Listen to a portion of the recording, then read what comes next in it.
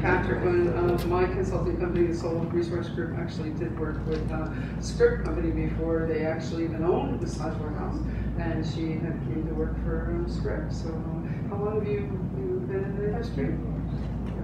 So, I've been hanging out with you for a long time. So, we're here from you. You guys, I'm so excited to be here. I'm so stinking. Because students are what I live for. I mean, well, I, let me stop. I have a family. I live for them. I live for God. And then there comes you guys. So the exciting thing for me is I came from an industry that was so completely outside of this.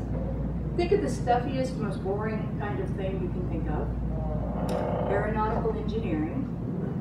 And then think going into massage. Could it be any larger a dichotomy? I don't think so, but I was working at a company called Johnson Service Group back in the late 90s, and uh, we supplied uh, engineers to NASA, to JPL, to Boeing, to Northrop Grumman, Lockheed Martin, and all of that experience, I was in this, it was Evan Picone and pearls every day. I had to be all dressed and, you know, all, all the shoes, and you can't have, you gotta have nice toes on your shoes, and oh my gosh, you gotta look nice. I hated that.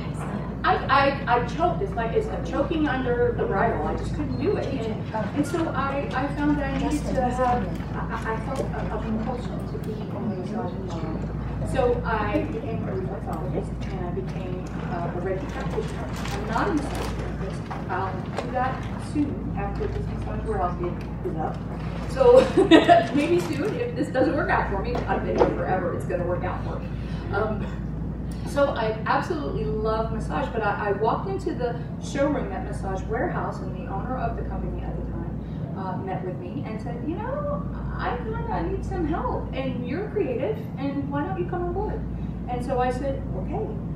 Engineering left behind. Changed gears that fast and went right to work with Massage Warehouse, and I've never looked back it's been a road of excitement from day one because back when I started with Massage Warehouse, we were still quite small.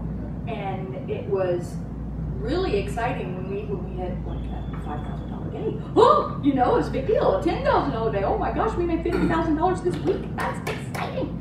Oh my gosh, the place is as big as three Home Depots now. And we have forklifts everywhere, 16, 18 bays, and we service the chiropractic, acupuncture, massage, spa, uh, home health care.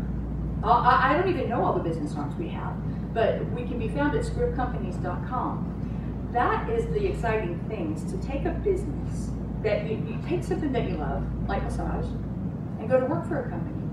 And then apply the skills that you have from maybe a different life that you lived, and apply that